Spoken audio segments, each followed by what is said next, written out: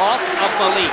Turned on now, but shouldered out of the play It was Nylander. Oh! Straka ever leveled by Gauthier. A drive is deflected. Straka, into Straka's, he's got rubbery spaghetti legs right now. Big time hit. Straka gets to the bench, and he's in la la land. The crowd buzzing on the force of that initial hit. The first shift of the game. Well, he started on defense for a reason. All a part of Flyers hockey. Level somebody and get your team going. penalties. That time he was responsible. Now here's Gauthier as Straka had skated past the puck and just let it go, a continuation of the play. And that was not an elbow, that was a shoulder that went into Straka.